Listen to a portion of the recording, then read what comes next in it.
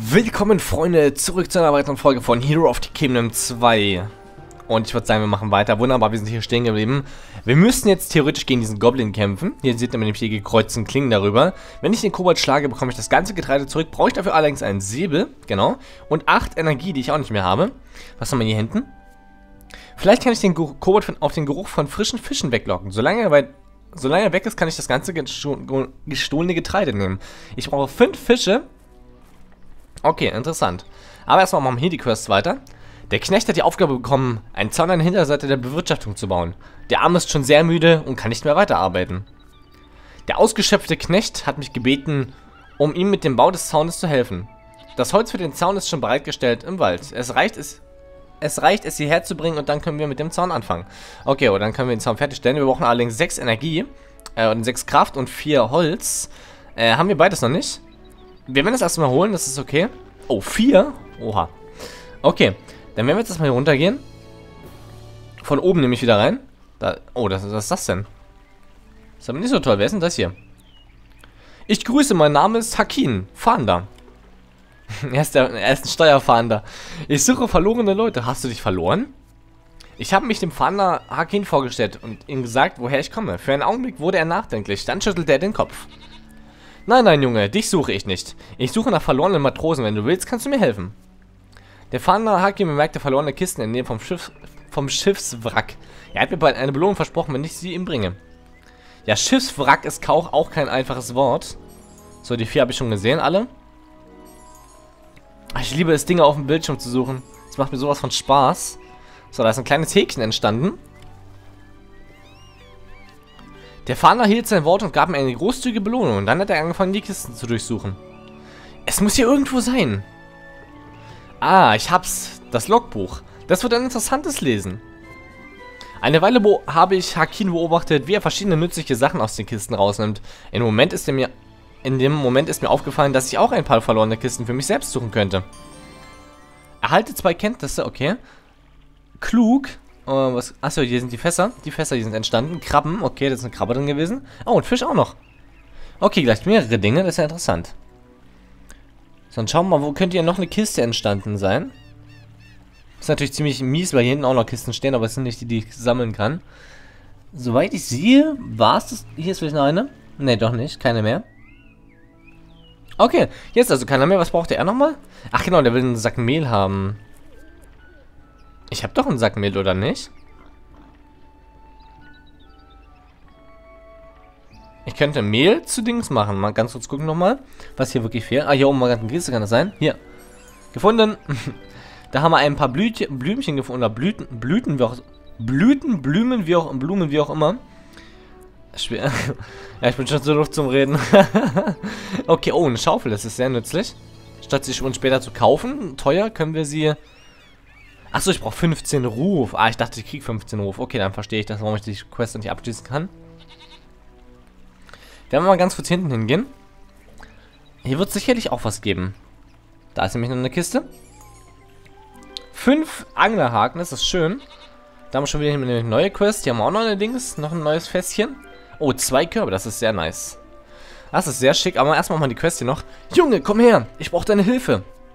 Der alte Mann will, dass ich ein Fass mit Fischen zur Bäckerin, die bei der Mühle wohnt, bringe.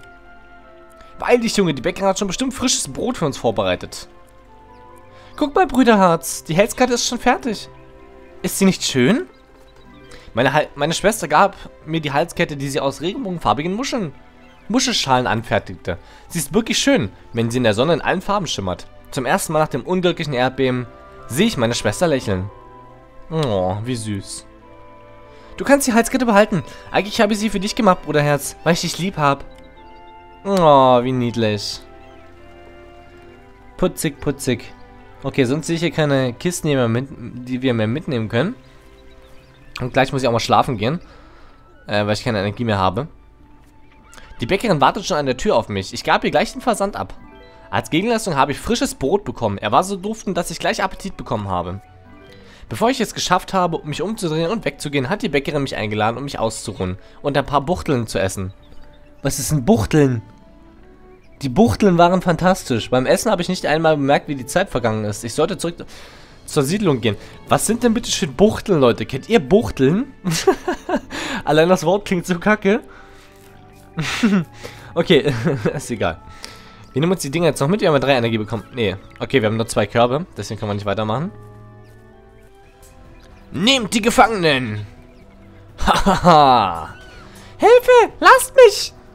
Was ist hier los? Das sind Piraten und sie führen meine Schwester. Ich muss ihr helfen.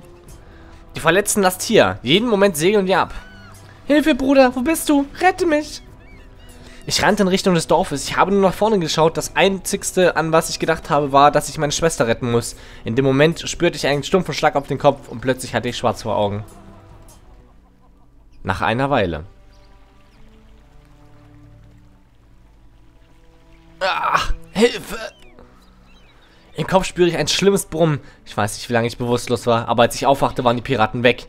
Mir wurde bewusst, dass ich meine Schwester verlor und ich habe angefangen zu weinen. Ich muss mich aufrappeln. Ich muss stark sein.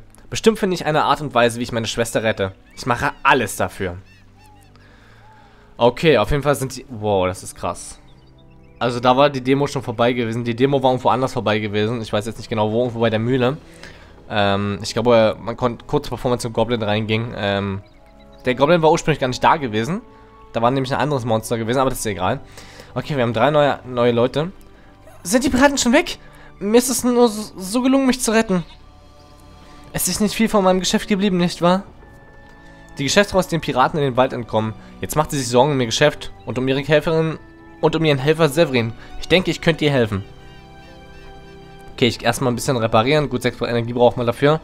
Der Fischer Severn hat den Piraten mutig Widerstand geleistet. Der liegt hier verletzt. Ich muss ihm helfen. Das ist ein Heiltrank, richtig? Genau, ein Heiltrank. Ich habe bisher aber keinen. Junge, helf mir. Ich bin verletzt. Der arme alte Mann ist schwer verletzt. Ich muss ein starkes Medikament finden, um ihn zu retten. Okay, mal schauen, was hier sonst noch passiert ist. Da ist wieder eine neue Quest. Überall ein Pirat. Auf der Decke habe ich einen seltsamen Mann gefunden. Anscheinend ist er nicht ganz gesund im Kopf. Wer weiß, ob ich ihm irgendwie helfen könnte. Ah, lass mich! Okay, ihm kann ich noch nicht helfen.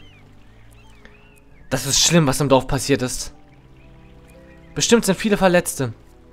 Die Kräuterfrau Jasmin gab mir drei Heiltränke, um die Verletzten im Dorf zu heilen. Sehr schön, danke dir, Jasmin. Danke, danke. Erstmal geben wir ihm was. Der Heiltrank macht wahre Wunder. Es reichen ein paar Schlucke und der alte Mann kann schon auf seinem eigenen Bein stehen. Es tut mir leid, Kleiner. Ich konnte deine Schwester nicht schützen. Auf dem Gesicht des alten Mannes hat man gesehen, dass ihm die Entführung meiner Schwester genauso leid tat wie mir. Er hat uns beide sehr gern. Du musst deine Schwester finden. Du musst sie retten. Ich weiß, dass du es schaffst. Die Worte des alten Mannes gaben mir Mut. Ich bin entschlossen, bis ans Ende der Welt zu gehen, um meine Schwester zu retten. Ich werde nicht anhalten, bis ich sie nicht finde. Bis ich sie finde, wahrscheinlich. Hier, Junge, nimm diese Karte. Du wirst sie auf deinem Weg bestimmt gebrauchen. Der alte Mann gab mir eine zusammengefaltete Lederkarte. Hoffentlich hilft sie mir, mich besser zu orientieren in dieser großen Welt.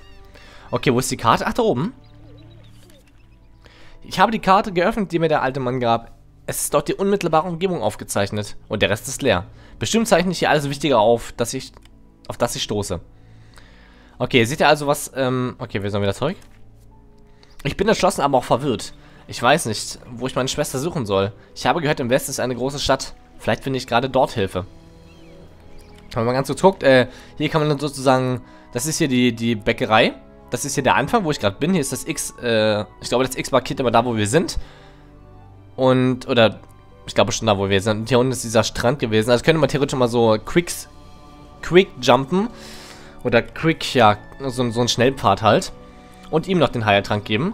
Auf jeden Fall sehr danke, äh, danke, danke, alter Mann. Silber den Trank aus dem Heiltrank und jetzt fühlt er sich besser. Er verrät mir, dass er über diese Piraten schon gehört hat. Sie werden gefür gefürchtet... Achso, sie werden geführt von dem gefährlichsten von allen Piraten, Black Rose. Man munkelt, er ist verflucht und hat übernatürliche Kräfte. Das glaube ich ja nicht. Haben wir mittlerweile 15 Ruf? Ganz kurz mal gucken. 15 Ruf, wunderbar, genau exakt. Und ihr seht schon, wie viel Zeug wir im Inventar haben. Das ist so heftig. Okay, sehr nice. Okay, die Quest können wir abschließen. Gut.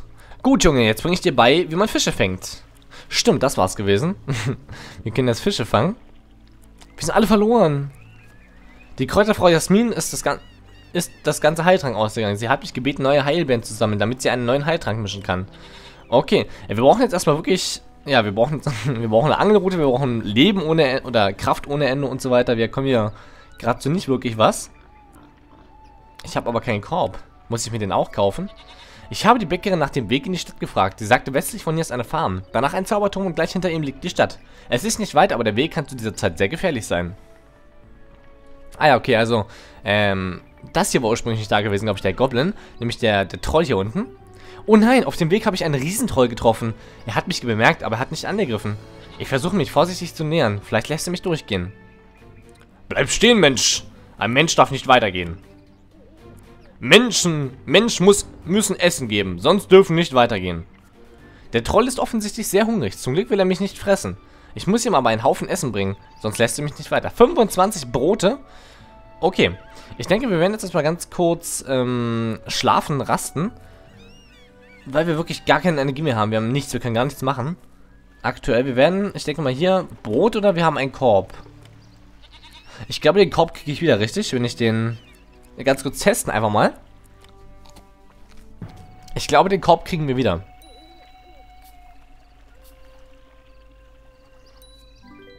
Genau, ich habe den Korb wieder bekommen und 6 Energie. Ähm, theoretisch müsste ich jetzt, genau, das sind die roten Beeren, die ich brauche. Ich brauche aber noch ein paar mehr Körbe. Die hatte, glaube ich, Körbe. Ne, irgendjemand hat die Körbe. Ich weiß nicht genau, wer. War nicht irgendwo noch ein Händler gewesen? Wir können erstmal reparieren. Stimmt, also die war ja die Händlerin. Die Piraten haben Chaos hinterlassen. Mit ein bisschen Mühe kann man alles reparieren. Okay, wunderbar, alles wieder heile. Jetzt ist sie hier, hier vorgegangen. Ich danke dir, Jüngling, du hast mir sehr geholfen. Die Geschäftsfrau ist froh, dass sie ihr Geschäft zurück hat und ihr Helfer Severin lebendig und gesund ist. Sie hat mir beim, bessere Preise beim Handel versprochen. Sehr nice, auf jeden Fall kriegen wir jetzt mehr Körbe. Ein, also neu kostet ein Korb. Ich würde sagen, wir nehmen uns drei Körbe mit. Eine Angelroute brauchen... Holen wir uns noch nicht die Angelroute. Kann sein, dass wir die noch... Habe ich sie gekauft? Ja. Kann sein, dass wir die Angelroute irgendwann noch gebrauchen können. Äh, ob wir die irgendwann noch geschenkt bekommen, meine ich. Können gleich direkt nochmal ein Dings raushauen. Ich finde, einen Korb extra zu bekommen ist wesentlich wichtiger, als nur ein Brot zu verbrauchen hier bei dem Schlafen.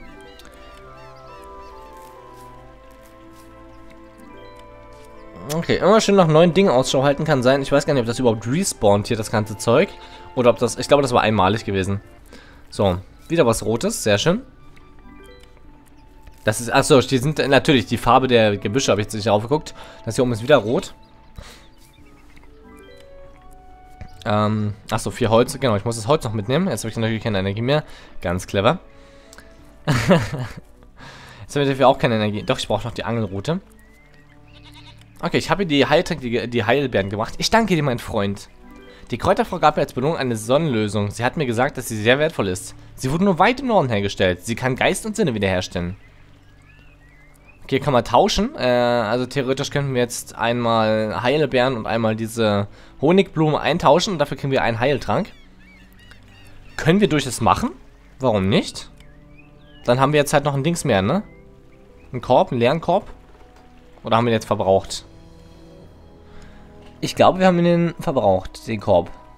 Genau, dafür haben wir jetzt eine Flasche bekommen. Die Flaschen kann man aber, glaube ich, leer machen, soweit ich weiß. Oh, der er spricht mit mir. Werft den Anker, werft den Anker. Vielleicht hilft dem armen Willkopf die Sonnenlösung. Ach, wo bin ich, Matrose? Bring mich in meine Kabine. Auch wenn der seltsame Mann immer noch verwirrt ist, kann man sehen, dass sein Verstand wieder ankommt. Oh nein, mein Schiff! Ich kann mich erinnern. Der seltsame Mann kann sich an seine Vergangenheit erinnern. Er heißt Damian und er war Kapitän des Königsschiffs, das an die Piraten gestoßen ist. Das war der verfluchte Pirat. Er wird die Black, Black Rose genannt. Captain Damian erzählte mir, wie sie den Kampf mit den Piraten verloren und wie deren bestätigtes Schiff am Strand scheiterte. Für meine Hilfe hat er mir erlaubt, etwas von seinen Sachen zu nehmen. Er hatte dort nicht viel. Am Ende habe ich einen alten Säbel genommen. Ja, danke schön. Damit kann ich jetzt den Dings kaputt machen da oben, den kleinen Gobbo. Ähm, gibt es noch irgendwas? Nee, wa? Habe ich noch Energie oder ist das jetzt... Ja, Energie ist leer. No Energie.